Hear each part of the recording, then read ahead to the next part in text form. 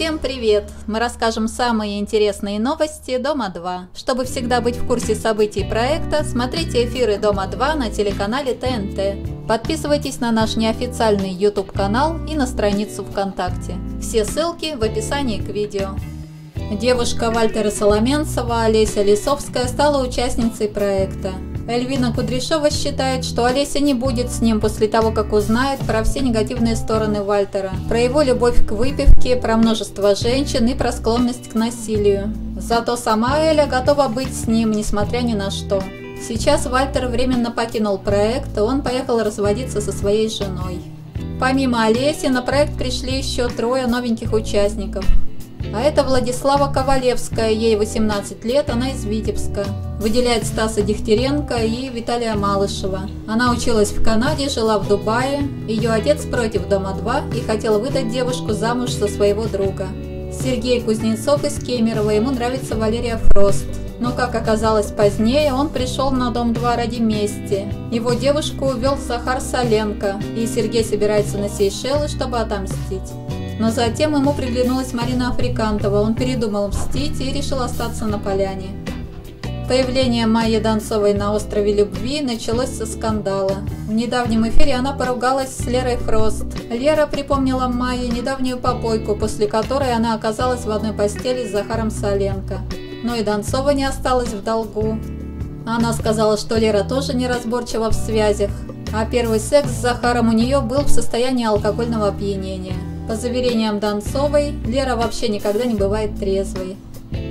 А мама Майи и Ирина, которая осталась на поляне в компании Маши Кахну, Африкантовой и Лилии Читрару, гуляла в ресторане «Облака».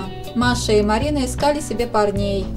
Лилия Читрару недовольна результатом пластической операции. У нее уже почти все зажило, швы сняли, но образовалась небольшая ямочка на носу. Катя Жужа влилась в дружный коллектив на острове Любви. Ребята устроили вечеринку в честь ее прибытия.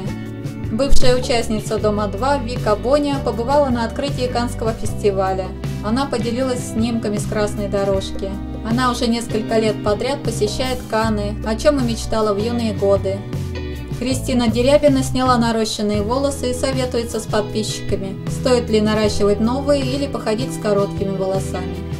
Саша Гозиас, Настя Волынец и педагог по вокалу Виктория Ильинская проводят время вместе, девушки сдружились. Дмитрий Тарасов выложил в сеть снимок своего дома. Он подчеркнул, что это их общий дом с Настей Костенко. Подписчики Ольги Бузовой стали писать Дмитрию резкие комментарии с упреками. Изначально ведь это был ее дом, но из-за брачного контракта ей пришлось покинуть особняк.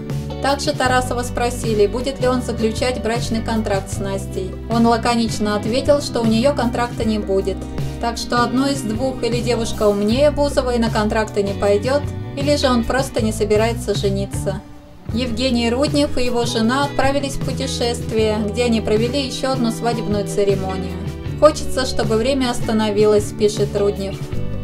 На этом все. Спасибо, что были с нами. Ставьте лайки, комментируйте, подписывайтесь на наш канал на YouTube и на страницу ВКонтакте. Ссылки ищите в описании к видео. И не забывайте смотреть эфиры Дома 2 на канале ТНТ.